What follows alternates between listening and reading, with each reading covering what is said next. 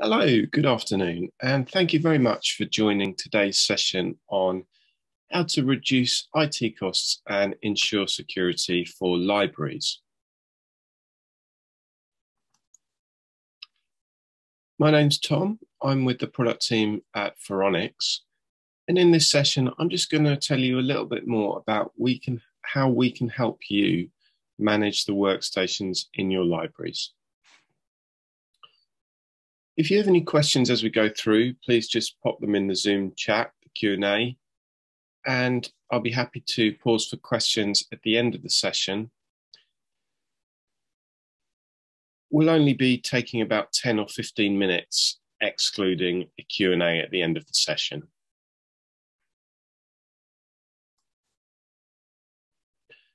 So just to start with a little bit about Faronics. We've been around for 25 years now. In that time, we've sold more than 10 million licenses in more than 150 countries.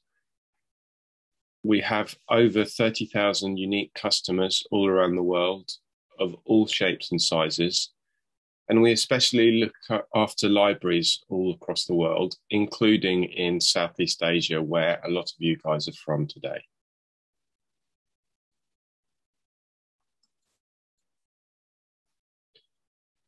We have our headquarters in Vancouver, in Canada. We also have offices in the UK, where I'm based, as well as in the USA and also in Singapore. So that's where most of the product development happens. but we do have partners all over the world who work with us to provide fantastic service. So if you don't happen to be near one of these head offices, then there is definitely going to be someone nearby you who can look after you. So if you'd like us to put you in touch with your local representative, please just let us know in the Q&A and we'll be happy to tell you who that is.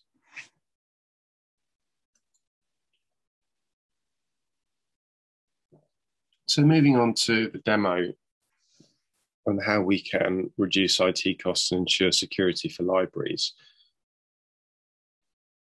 One of the main ways in which we can achieve this for you is through Deep Freeze. Deep Freeze is our unique patented, patented reboot to restore solution. So this is really helpful in libraries because what it does is it means that anytime you restart a workstation in a library, that workstation will restart in its original pristine state.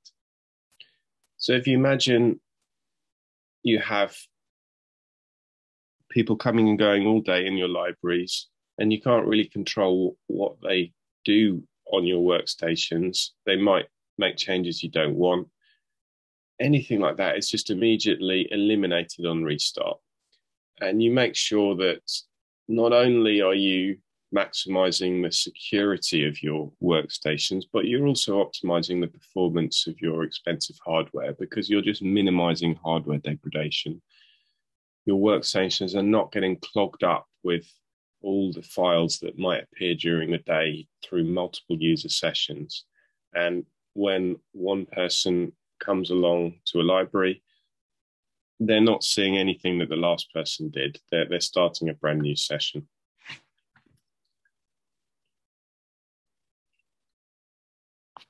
So in the product Faronics Cloud Deep Freeze, you have a Deep Freeze dashboard. So you can see across your libraries uh, the status of your workstations, how many are frozen and thawed.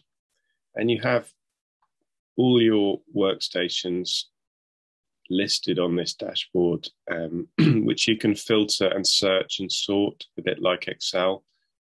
And you can carry out on demand tasks from wherever you are, wherever your libraries are, wherever you are, it doesn't matter. Suppose there was a security concern over this computer, I would I could just freeze it from here. Or I could restart it or run a maintenance period I can control everything from wherever wherever I am. So because deep freeze eliminates most IT tickets with, with a simple restart, you will find that um, your IT staff are just that they, they save a huge amount of time. Um, you're just going to get back a large amount of the time that you were spending on fixing IT problems in your libraries.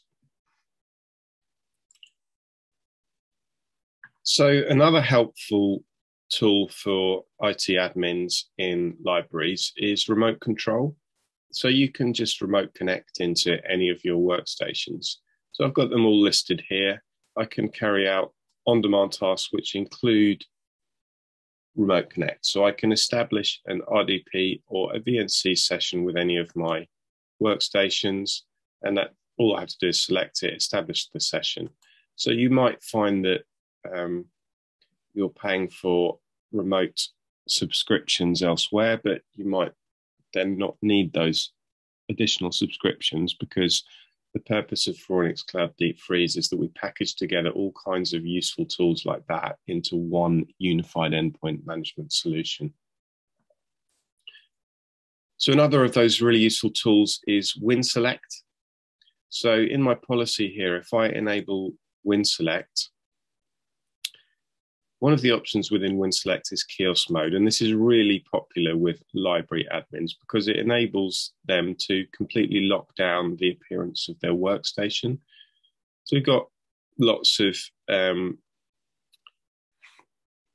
lots of customizable features here, including um, I can add applications and web links. So I could say I'm going to add a certain application, which I can say always launches, always maintains full screen. Um, so you're saying to your users that this is what you can do and no further. So a really important layer of security to protect your workstations from unwanted changes. And you've got a lot of other options within WinSelect. So you might want to stop your public users right clicking, manipulating folders, dragging, dragging and dropping. You're almost certainly going to want to stop them printing, or if not printing, limiting the amount that they can print in one session. So you might say that each user can print only five pages in a session. Again, um, that's just a straightforward way of making life easier and saving money.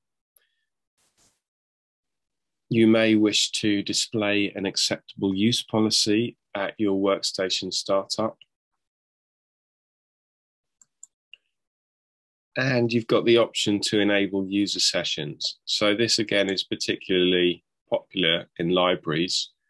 So if you have a library with not that many workstations, and you frequently have people visiting your library who want to use a computer but there aren't enough, then you can limit your user sessions to a certain number of minutes and you can just generate codes.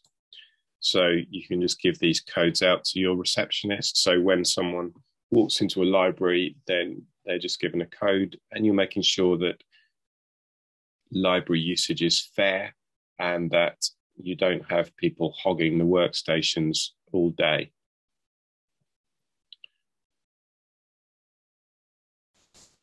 Software Updater is really valuable because software updates might be quite a pain, um, but they don't need to be. Um, all you need to do is enable software updater in your policy, and you can select which applications you wish to deliver to your libraries. You don't have to have the same list to all your libraries. You can have as many policies as you like. Uh, so you can have different sets of applications for different libraries or different groups of libraries. And you can add your own applications really easily. Um, if, if there are any that don't appear on the list, although it is a long list. And then all you have to do is schedule a maintenance period. So I might say, for example, between 12 and 1 on Thursdays. During that time, my applications are going to be updated. And I don't need to worry about software updates anymore. And software updates will work in conjunction with deep freeze. So I might have frozen workstations. Those workstations will be woken up, the software updates delivered, and then at the end, end of the maintenance period, the workstations will be frozen again. So I can maintain absolute security while delivering all these software updates.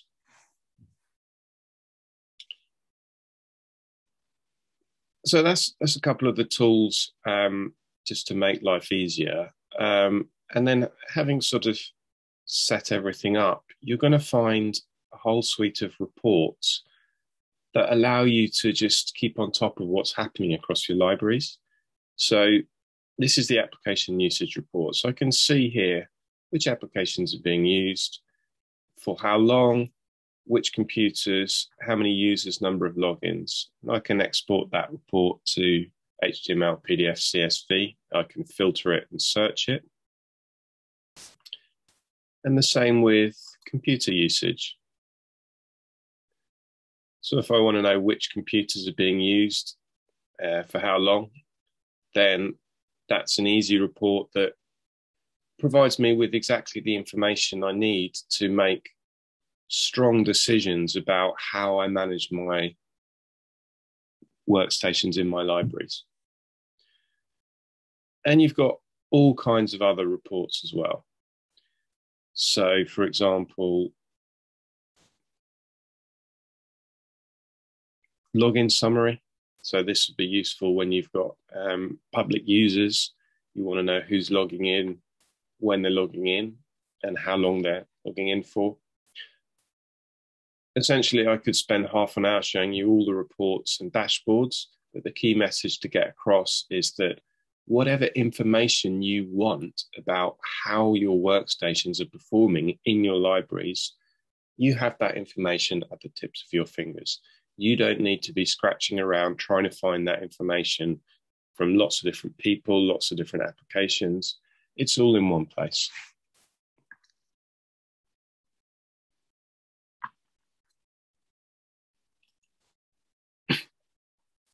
We use the phrase one platform total control, and that is appropriate because we do allow you total control of what is going on in your libraries.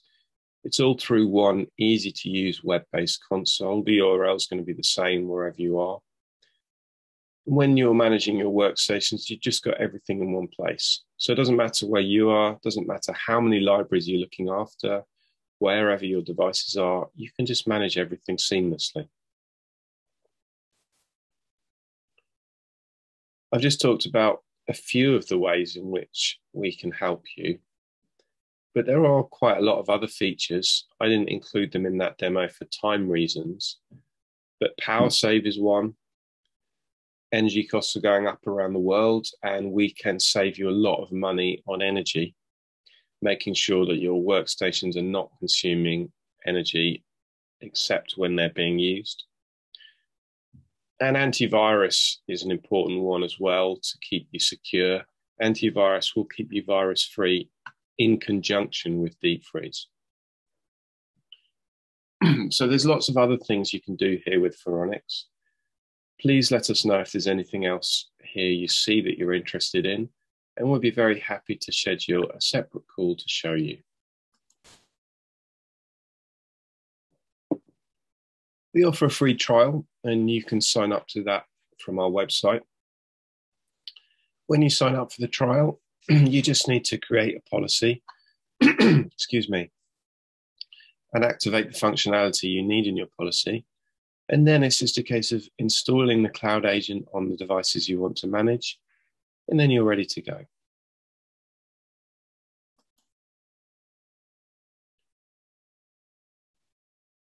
So, just to summarize today's webinar, you can save a vast amount of time and effort looking after the endpoints in your libraries with one easy to manage cloud console. I'm just going to leave our contact details on screen now. Thank you for your questions in the Q&A. Um, so we'll move to the Q&A now. So if you have any more questions, please just pop them in the Q&A now. I'm um, just looking at a couple of questions there. Uh, does it work with Windows updates? Yes, yes. So I showed you the software updater. That's for all the kind of regular applications you, would use. Um, but yes, you can manage your Windows updates and deliver them through Faronics Cloud Deep Freeze, and that will work with Deep Freeze, and it won't cause any disruption to your public users coming in and using your libraries. Can I set up multiple locations? Uh, yes, very easy um, using the sites feature. Uh, so, um, so I'm on Singapore here, um, and I can easily just switch between sites. Uh, so I might have library one, library two, library three, and then I can make sure that my administrators who work in different zones can manage the workstations in those zones. So you can be really careful about um, making sure that the right people can do the right things in the right place, and you you can. Um, it doesn't matter how many libraries you manage, you can still manage them through the Cloud Console. Um, okay, so um, any any other questions? I'll just hold on half a minute just in case we've got any more questions.